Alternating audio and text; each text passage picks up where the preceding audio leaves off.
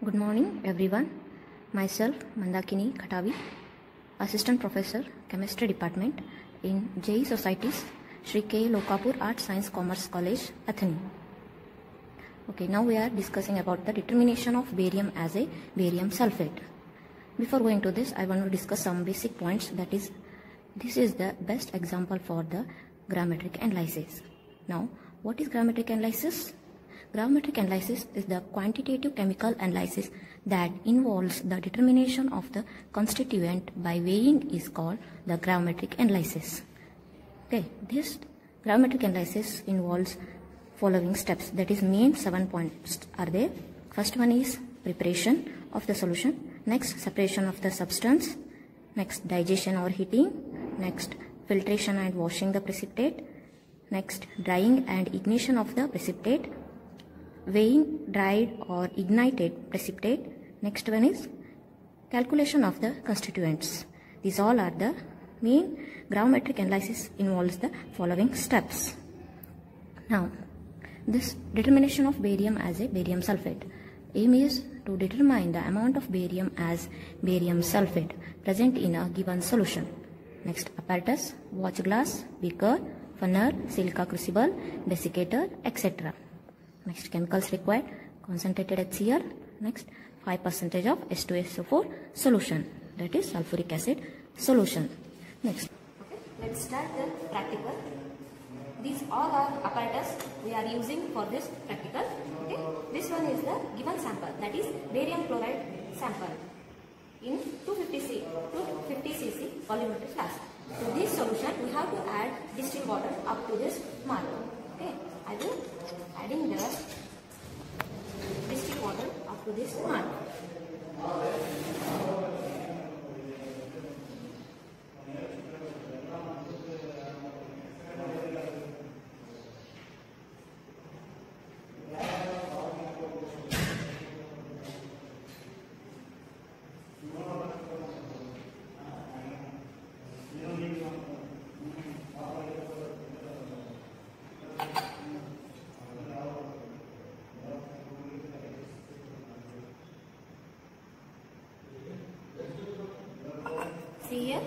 Adding distilled water to that sample.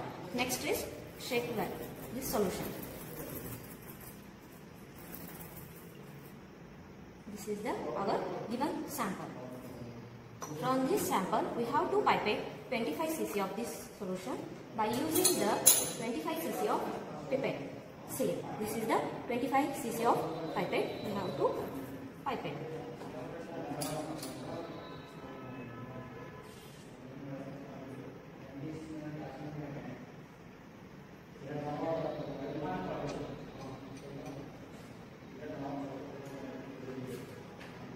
25 cc of solution we have to add in the 250 cc of beaker. This is the 250 cc of beaker.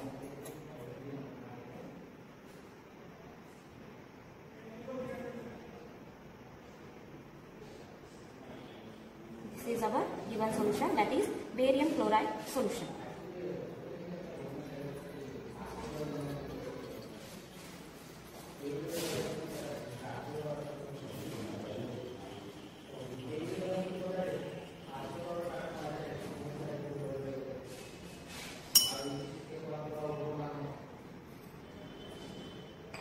This is the 25 cc of barium chloride solution. Next step, we have to add for this solution 75 cc of distilled water.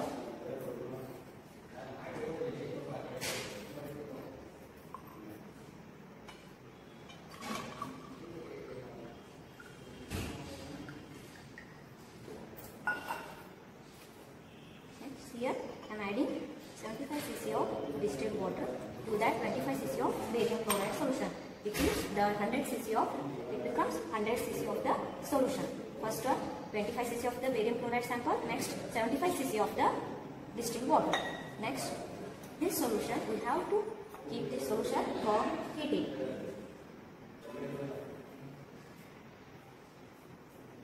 We have to make it boil.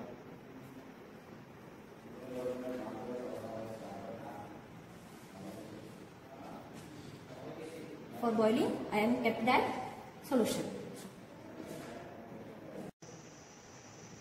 Okay, I am adding this H2SO4 solution to the boiling solution. That is, by adding this H2SO4 solution dropwise by stirring well.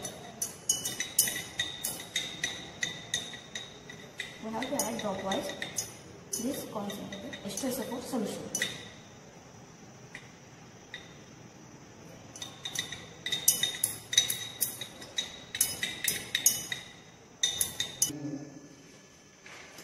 Okay, here after 45 minutes, the solution looks like this.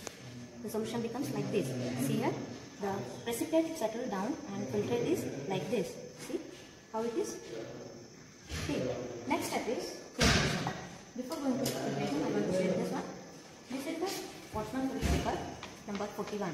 Okay, compared to this blotting paper, we are using Whatman filter paper 41 because it has a small pores.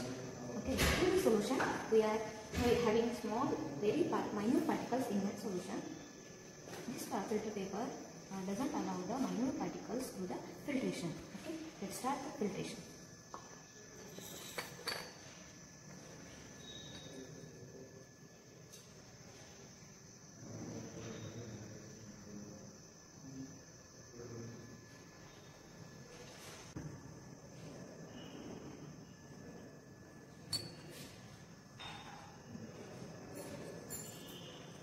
see how the filter is going there.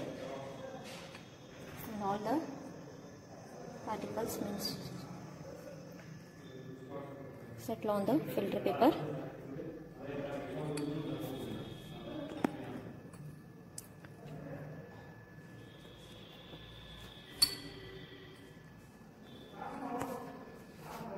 After this we have to wash this one by using hot distilled water. This is previously I am boiled this this is the hot distilled water I am washing this filter using hot distilled water.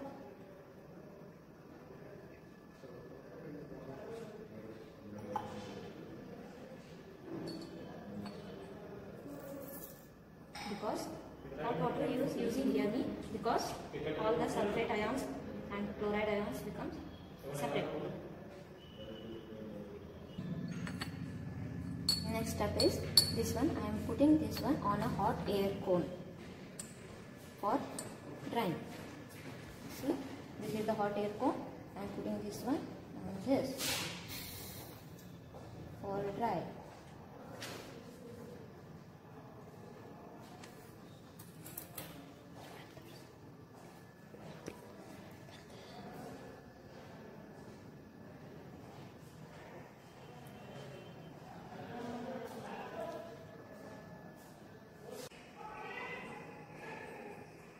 Okay, now it is dried on. Now it is dried on hot air cone. See here how it is. Okay. Next I am draining this one filter paper slowly and putting this filter paper on the previously wet crucible.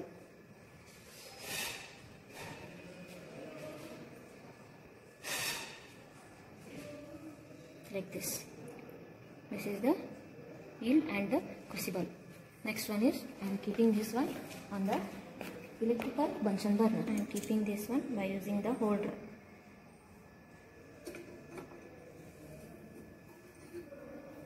See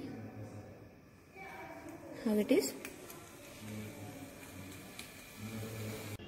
Okay, this is the yield in crucible. See how it is. After 5 minutes drying, this is looks like this type see the product. This is the electrical Bunsen burner about 90 degree Celsius. Now I am keeping this one in the desiccator for cooling process. See how I am keeping that one? Okay I have to keep this one like this now it is cooling process. This is the last process of this practical. After the cooling we have to weigh that crucible with residue and mention that one in the observation table. This is the observation what we are observed in practical. That is weight of the empty crucible w1 that is 17.83 gram next one is weight of the crucible plus residue that is w2 18.08 gram.